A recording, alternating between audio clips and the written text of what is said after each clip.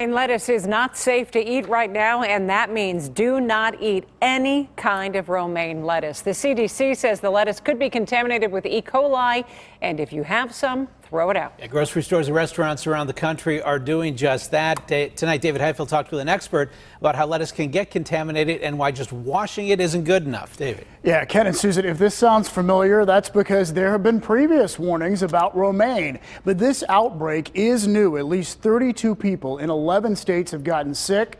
Fortunately, no one has died.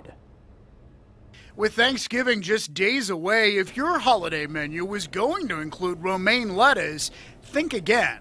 Now, especially with family members and everybody coming over, we don't want to risk any possible problems. I did see the warning come up on my cell phone. It popped up like on a CNN news. So we had romaine lettuce in the refrigerator that we're going to have to throw away now. You don't have any at home, do you? No, I don't. Not right now. It, but it, sometimes you do buy it. Oh, yes, I like it. The alert from the CDC covers all types and brands because they haven't been able to track down a common source. Now, this applies to heads of romaine, also hearts of romaine, romaine that's been chopped up, even romaine that's part of a salad mix.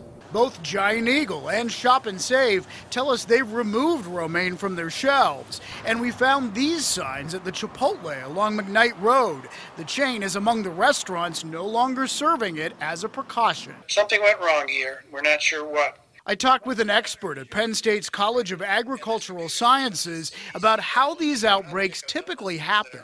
It's usually associated with water, water that's used for irrigation.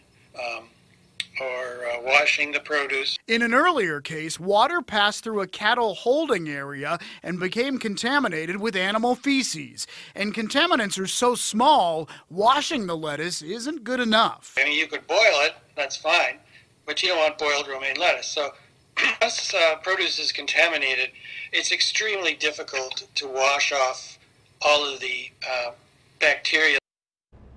Symptoms of an E. coli infection are bloody diarrhea and stomach cramps, and that normally happens three to four days after eating the food. Not only is the advice to toss out romaine, but also clean the drawers or shelves in the refrigerator where it was stored.